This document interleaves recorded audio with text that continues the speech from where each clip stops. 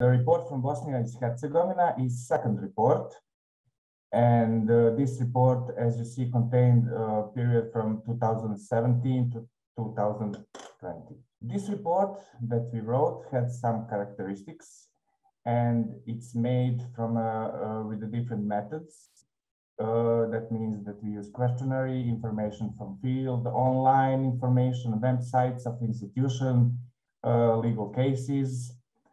Uh, further, uh, this uh, report is written by organized civil sector actively that actively participate That means that in Bosnia we have four Принимал участие организованный гражданский сектор.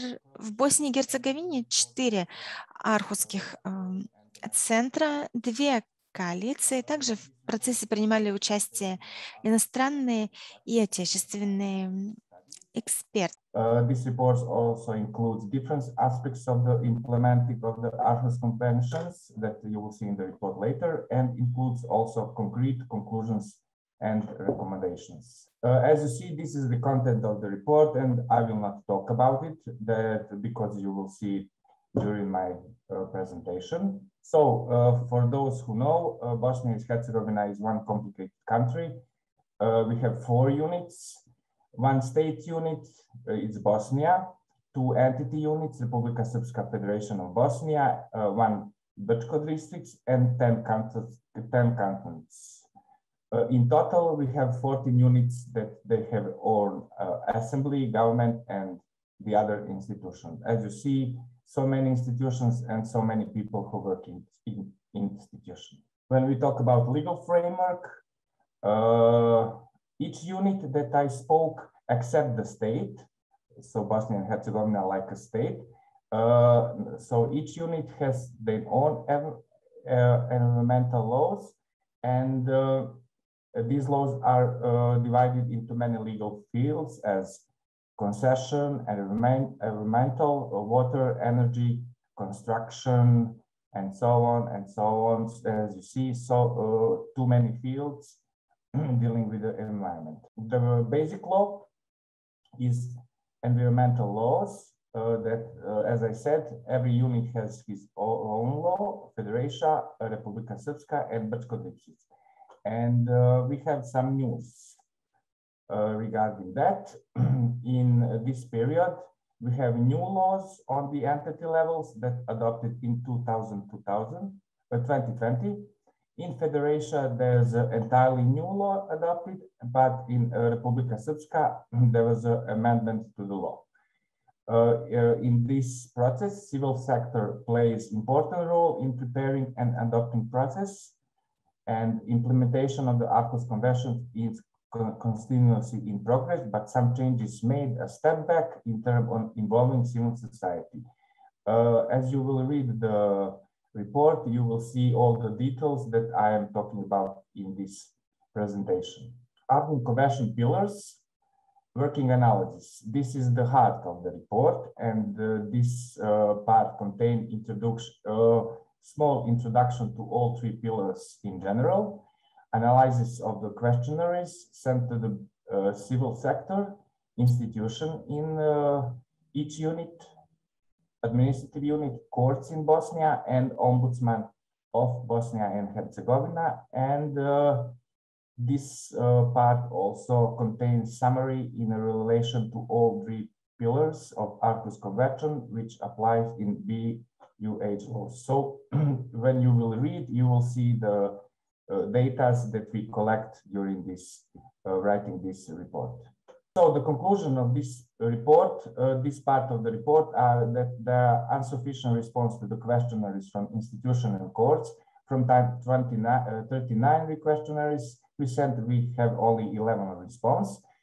So the conclusion is also is that education of the administrative workers, especially workers in companies where the government the, uh, is the major owner, is needed. Uh, also there uh, in report there are concrete examples of breaching of Aarhus Convention and you will see in the next slide. Uh, public is more involved in the public participation and especially in, in EIA process. There's the new changes of the law, uh, but not enough and more court cases that uh, we have more court cases than in the previous period from 2013 and 17. Uh, and that is the consequences of the existence of four Aarhus centers in Bosnia and Herzegovina that provide legal aid. And of course, we have long court cases. For example, some cases last for six, seven years, and you can also read it in the report.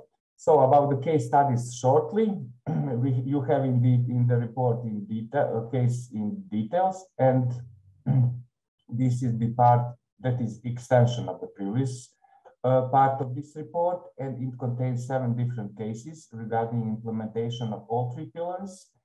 Cases deal also with different fields of environment and different parts of administrative units of Bosnia, and as I said, some cases last for seven years. Uh, all the details I repeat, you can you can write uh, read in the report. So there are the cases. As you see, there is seven cases that include all three pillars of uh, Aarhus Convention.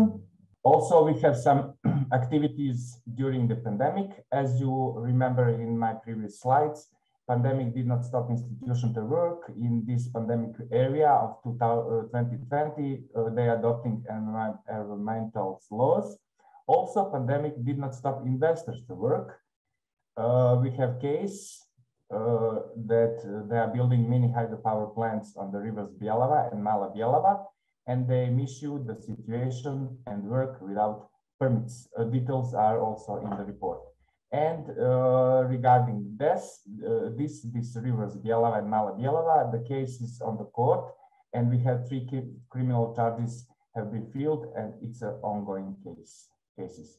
Also in this report, we talk about uh, pollutant release and transfer register.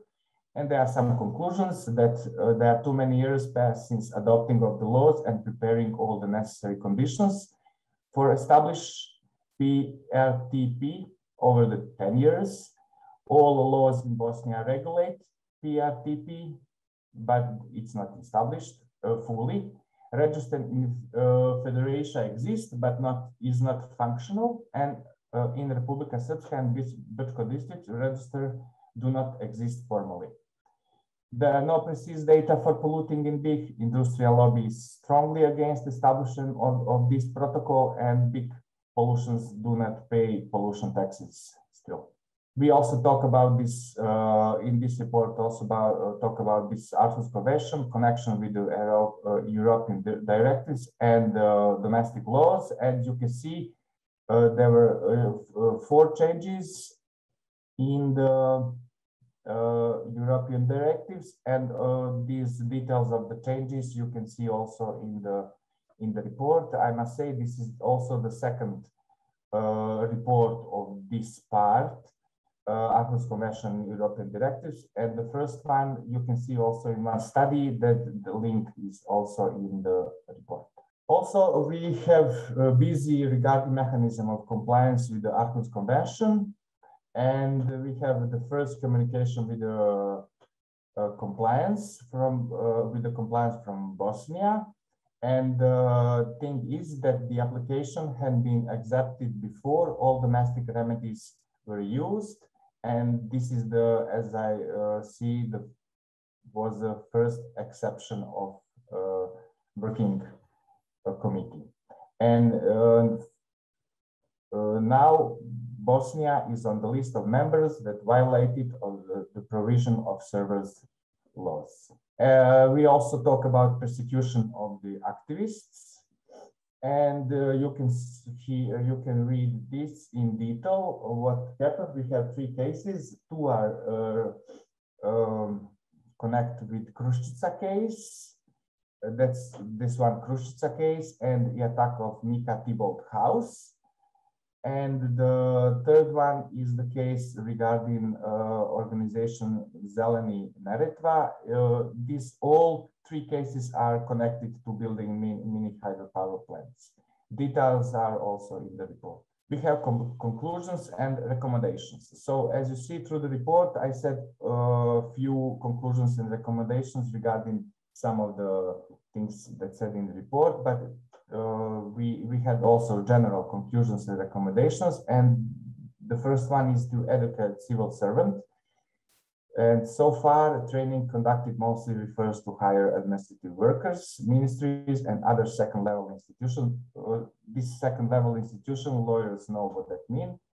Education of the municipality and city officials is still lagging behind. Also, the second uh, conclusion is uh, apply an electronic system of publishing information using new tools in line with the recommendations that means that we use some things, electronic information tool, cases, studies, and uh, UNECE, and consultation on the recommendation on electronic information tools. We also have conclusion about PRTR that it should be uh, uh, established and published as soon as possible. And uh, the next and the last con uh, general conclusion is that it's needed intensity uh, cooperation between the civil sector and the authorities with the active participation of Aarhus Convention focal point of Bosnia. That means that we have to have uh, communication and exchanging on information, that we have to have regular meetings and it should be involved civil sector in local level. As at the end, all the recommendations that here are tasks of the civil sector in environment protection and nature conservation. Thank you. And uh, you can find my uh, data. Uh, I'm also a legal advisor of the Organization Center for Environment from Banja Luka that actively participate in preparing in this report. I hope I managed the time.